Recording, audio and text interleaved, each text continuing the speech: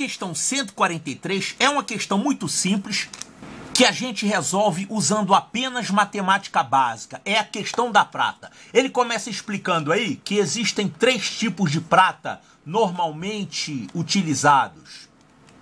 A prata 975, a prata 950 e a prata 925. E essas gradações aqui são relativas à quantidade de cobre que existe misturada na prata. É, você sabe que é, às vezes precisa misturar um outro metal, né, para dar uma liga, para o metal ficar com características melhores para trabalhar, para moldar. Eu não sei na verdade por que que mistura, tá? Mas eu sei que é comum misturar é, alguns metais. O ouro também eles fazem isso. Tá, então a prata 975 ele explica que é formada assim: são 975 partes de prata e 25 partes de cobre, totalizando aqui mil partes. A mesma coisa essa aqui, a prata 950, quer dizer que ela é formada por 950 partes de prata para 50 partes de cobre. E essa aqui são 925 partes de prata e 75 partes de cobre. Em todos esses casos aqui, totalizando mil partes. Aí ele faz a seguinte pergunta: o ourives possui 10 gramas de prata 925. Ele tem então 10 gramas de prata 925 e ele quer adicionar mais prata e mais cobre até formar isso aqui, 40 gramas de prata 950. Ele tem isso, quer formar isso, adicionando mais prata pura e mais cobre puro. Quer saber quantos gramas ele vai ter que adicionar aí de prata e de cobre. Olha só, 10 gramas de prata 925, você pode usar essa proporção aqui, né? 925.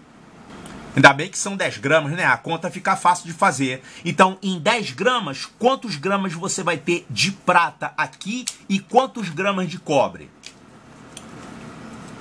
Você vai ter 9,25 gramas de prata e 0,75 gramas de cobre. Claro, porque é a proporção que tem da prata 925, né? Ainda bem que são 10 gramas, né? Se fossem, já pensou, 5,7 gramas, você tem que multiplicar os números quebradinhos, mas aqui não precisa.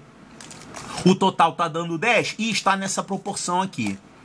Tá, aí você tem que formar 40 gramas de prata 950. Olha só, se fossem 10 gramas de prata 950, vamos botar aqui. Se fossem 10 gramas de prata 950, como é que seria? Seria isso aqui, ó, 9,5 gramas de prata e 0,5 gramas de cobre. Mas ele quer 40 gramas, é 4 vezes isso, né? Então, 4 vezes isso aqui, ó, 4 vezes 9,5, isso dá 38 gramas. E 4 vezes isso aqui dá 2 gramas. Então, olha só, está nessa proporção aqui, igual como foi definido, e o total está dando 40. Eu multipliquei todo mundo por 4 aqui. Então, o que, que a gente tem que adicionar? Nós temos isso. Eu tenho que adicionar quanto? Daqui para cá e daqui para cá. É só fazer a diferença, né? Olha só. Essa diferença aqui, 38 gramas menos 9,25, na verdade eu não preciso nem fazer essa conta porque essa conta aqui já mata o problema. Mas vamos fazer aqui, ó. 38 gramas menos 9,25 gramas, isso aqui dá, ó, se fosse 9 daria 29, mas eu tiro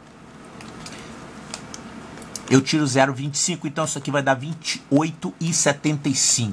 Isso dá 28,75 gramas de prata. E o cobre é 2 gramas menos 0,75. 2 menos 0,75, isso aqui dá 1,25 gramas. Então, é isso aqui que você tem que adicionar de prata e isso aqui é o que você tem que adicionar de cobre. Isso lá nas opções corresponde à letra Letra B de Bravo.